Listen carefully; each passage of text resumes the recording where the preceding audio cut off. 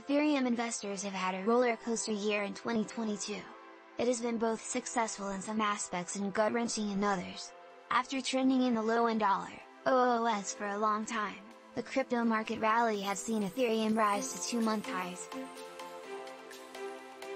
What followed was a marked increase in the number of investors that were actually making a profit from their investments. If anything, the profitability of Ethereum over the years has been a major bull case for the digital asset. Even now, during a brutal crypto winter, the cryptocurrency remains one of the best performing assets with a higher than average number of investors currently seeing profit on their investments. Data from Into the Block shows that a total of 57% of all ETH wallets are currently seeing profit even at current prices. This puts it ahead of the majority of the market which is seeing the majority of its holders being plunged into loss at current prices puts about 40% of all investors in the loss territory, and only 3% are sitting in the neutral territory. This neutral 3% are those whose holdings are currently sitting at the price they purchased the tokens at.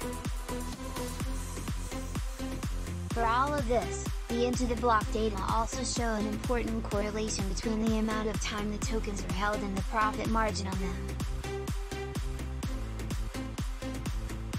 The majority of ETH investors, 65%, have held their coins for more than one year. This makes them the subset of investors that are likely to be in profit. Now, this does not mean that short-term holders are not seeing any profit given that the current price is considerably higher than where it was a few months ago. Nevertheless, the bull case still skews towards long-term holders being more likely to make a profit. Ethereum is still maintaining its position just above $1, 500, putting it close to its recent local peak of just above $1, 600. This sustained level points toward the bull dominance in the market and this could lead to more upside in the short term. But that is only taking Ethereum alone and not the whole market.